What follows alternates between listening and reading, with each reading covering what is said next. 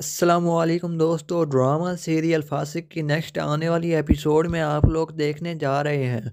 फातिमा का जब बच्चा पैदा होने वाला होता है तो बहुत ही ज़्यादा खुश होती है और उसकी खुशी की इंतहा ही नहीं होती। वो मुतायर से कहती है कि जब हमारा बेटा पैदा हो जाएगा तो उसका नाम क्या रखेंगे? जिस पर मुताहिर कहता है, यही तो मैं भी सोच रहा हूँ कि उसका नाम कोई अच्छा ही रखा जाएगा।